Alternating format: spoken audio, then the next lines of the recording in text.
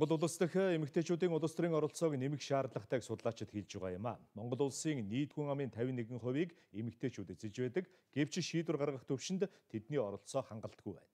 Тиймээс эргэцүүн орчинд өөрчлөлт оруулахаар төлөвлөж байна.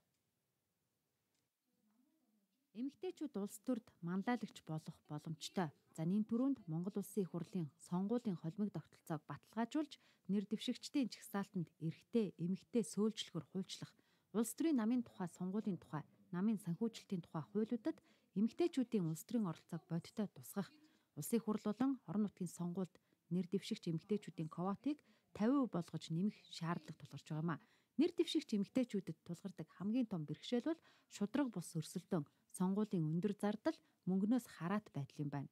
Одоо эмэгтэйчүүдийн улс төрийн оролцоонд хамгийн сөрөг нөлөөлж байгаа зүйл бол энэ сонгуул дахь одоо их хөрөнгө мөнгө буюу сонгуул Монголын улс төрд одоо мөнгөний нөлөө хүчтэй байгаа явдал. Үүнийг хязгаарлах үүднээс сонгуул дахь мөнгөний нөлөөг багасгах.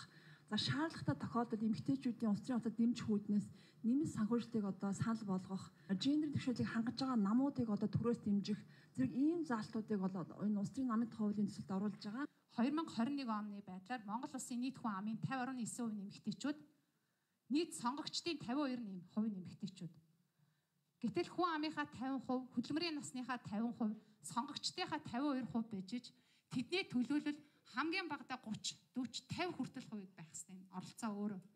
Тэд улс төрийн намуудад хандаж дараах уриалгыг хургуулж байна. Намууд дүрмдээ намын бүх шатны удирдах бүтцэд эмэгтэйчүүдийн төлөөллийг хангах 50% ковод тусган батлах, эмэгтэйчүүдийн нэр дэвшгэд тулгарч байгаа саадыг арилгахад намын дарга нар манлайлахыг хүслээ.